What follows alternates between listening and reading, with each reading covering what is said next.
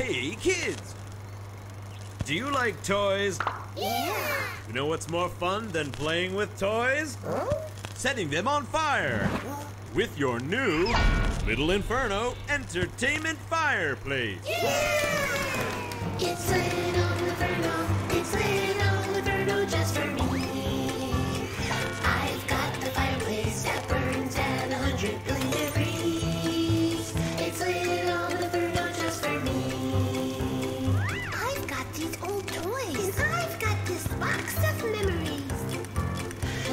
'em in the fire and breathe in the flaming potpourri. It's little Inferno just for me.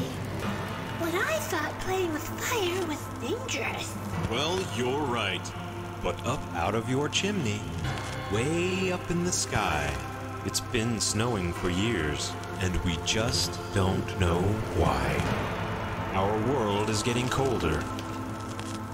But there's no need for alarm. Just sit by your fire, burn all of your toys, and stay warm.